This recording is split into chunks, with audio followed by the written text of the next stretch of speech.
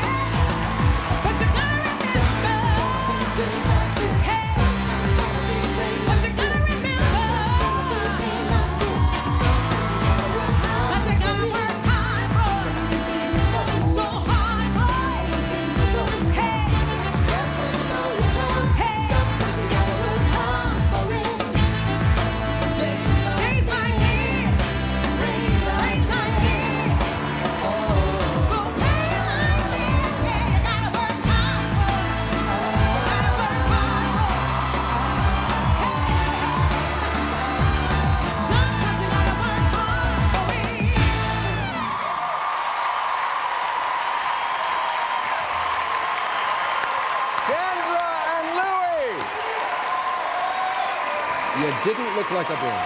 Not at all. Thank you, Not thank the you. least. Not at all. all right. We start this time with Bruno. Oh, Kendra, it's very tough being a lady, isn't it? It is. It takes a lot tough. of hard work, a lot of time, and yet it has to look effortless, easy, and natural. You tried your best, but you were very, very tight. You messed up your footwork quite a few times Yeah. because you were trying so hard.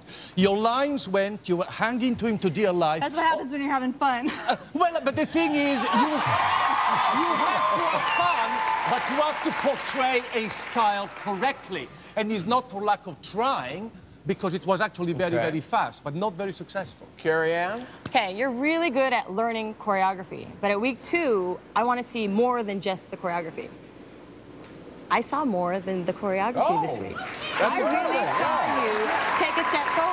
You, there was an elegance. You started out that routine. There was a newfound elegance. Remember, Kendra, elegance is a state of mind. I think the choreography was a little difficult and very jam-packed, so we didn't get to see more of it towards the end, like letting you breathe into the movement. But I definitely saw it. So stay right with it and keep going forward. Thank you. All right, then Mr. Goodman. Well, is yes, yes, your turn. Well, your, your posture was a bit hit and miss. Sometimes your posture was excellent. Occasionally, your chesticles were pushing into poor little Louis. I think it scared him a bit. But Where the muscle pain Yeah. comes from.